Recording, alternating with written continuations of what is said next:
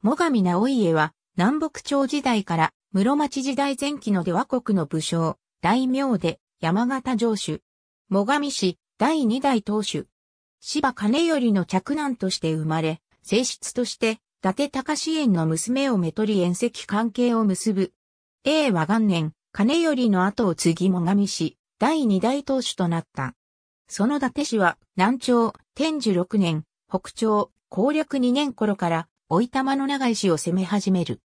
一時鎌倉久保の干渉によって、伊達氏は撃退されるが、結局南朝、元中二年、北朝、首徳2年1385年には、長井氏は滅亡し、最上氏と伊達氏は隣接することとなった。首徳元年首徳寺を創建し、応永元年館号を許され最上館を名乗ったという。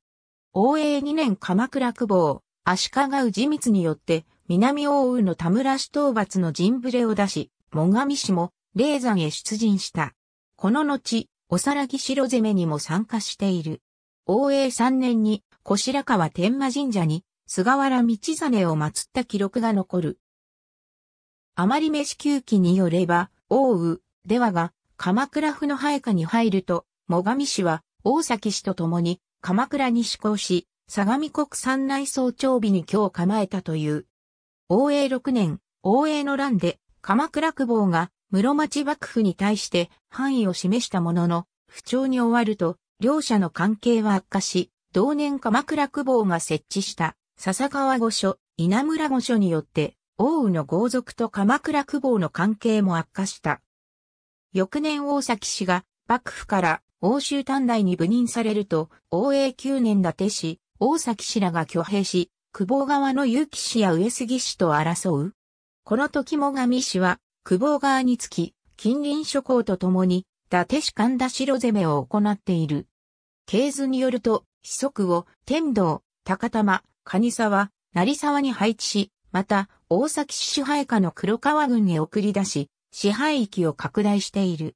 応永17年1月6日に死去。初夏経図、ハット AB、最上系譜、経図山陽、祖国倉の木、佐賀江市市上官ピアニッシモ534、山形県市第一巻、佐賀江市市上官ピアニッシモ534、佐賀江市市大江市並びに関係資料 P588、戸沢家府、伊達政党四つ校では、最上市系図に主立女とあり、両者の死没年から伊達高支園の娘であろうと推測している。ありがとうございます。